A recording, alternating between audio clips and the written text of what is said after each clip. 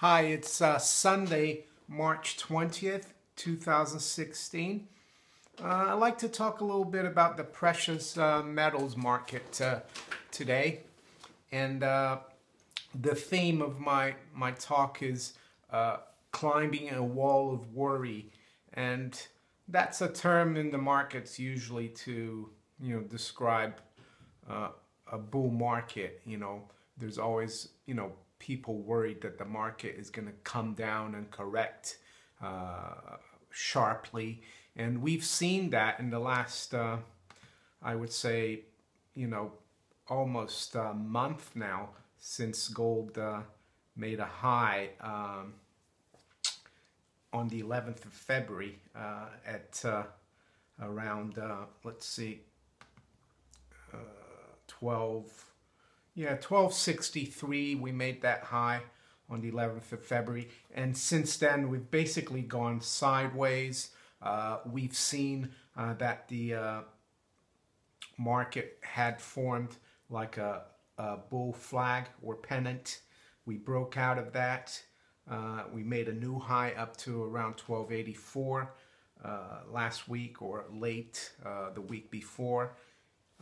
and and, and last week we came back down towards 1225 and we, we, we closed the week at 1255, uh, around 1255.40 in the spot market.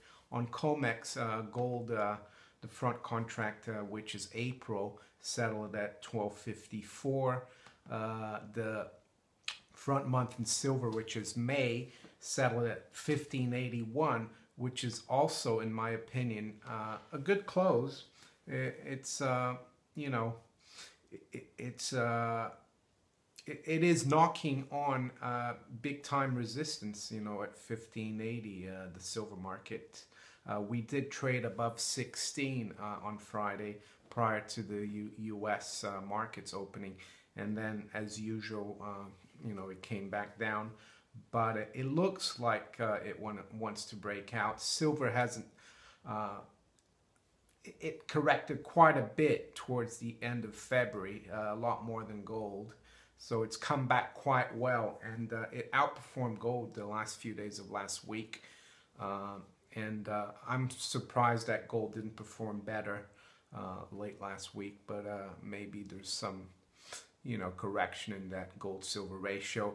Um, but we've seen a lot of articles in the last, you know, month people who cover gold, you know, warning of big, uh, you know, crash or correction in gold. And we haven't got, gotten it. And that's why I kind of call it climbing a wall of worry. And there's an interesting uh, article, which I'll put the link to below, uh, called, the article's uh, title is Precious Metals Ignore Correction Calls by Jordan Roy Byrne and, and it's from the dailygold.com and um, yeah, basically saying how you know gold has refused to really correct that much. You know, we had a correction, uh, sharp correction uh, back in the uh, end of February when we uh, went down below 1200.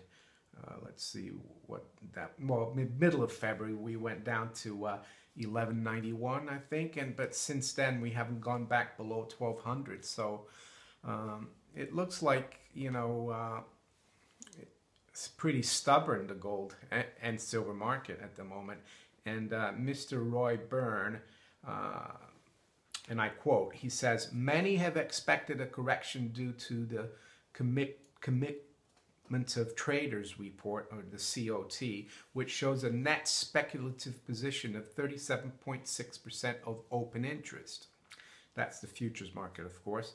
While this figure appears high, we should note that from 2001 through to 2012, the net speculative position open uh, peaked from 50% to 60%.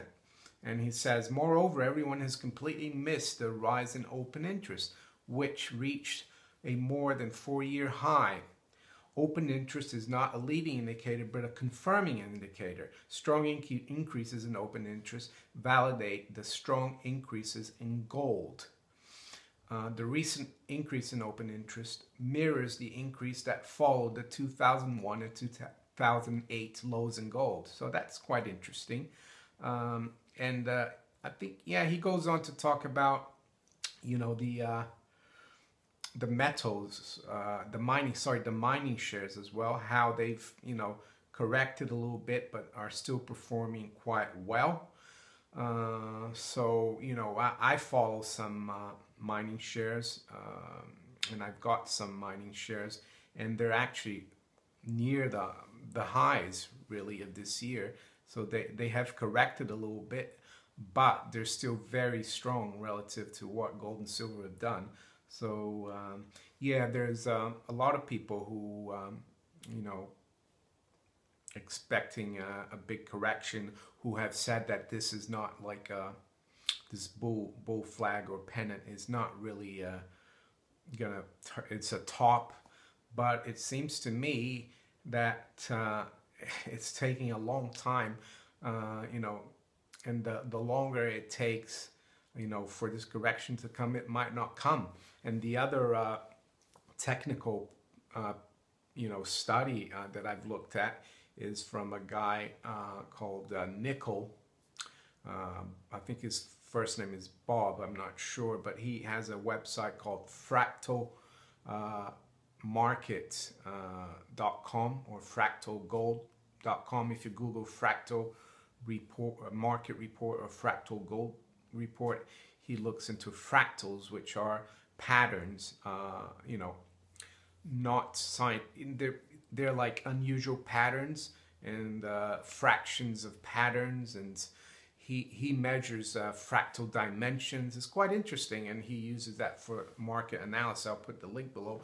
And according to him, um, and he's not always right, this guy, but he says the gold market has a lot of fractal energy right now, and that you know we could be ready uh, to finally you know make the move towards 1400. Uh, so we'll have to see. I'll put the link below to the Fractal Market Report uh, website. Uh, it does cost a bit of money to, to get those reports, but it's just interesting that, you know, uh, we haven't had, uh, you know, a huge correction in gold really. And uh, silver ended the week fairly firm.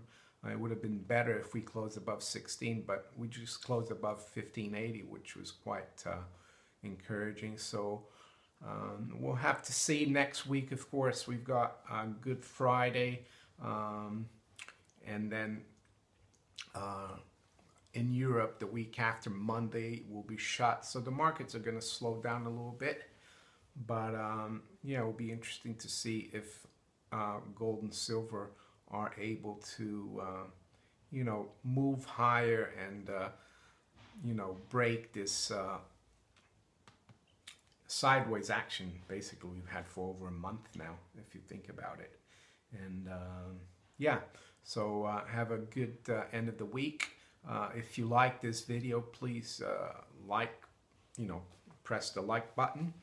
And uh, also share it with friends or subscribe to uh, to my channel. Have a good day. Take care. Bye